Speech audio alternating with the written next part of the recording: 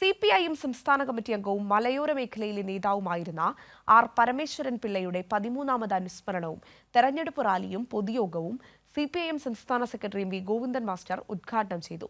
സംസ്ഥാന സെക്രട്ടേറിയറ്റ് അംഗം Anavoor Nagappan M Vijayakumar C K Harindran M L A area secretary D K Sasi T Chandrababu Shaji Kumar എന്നിവർ സംസാരിച്ചു.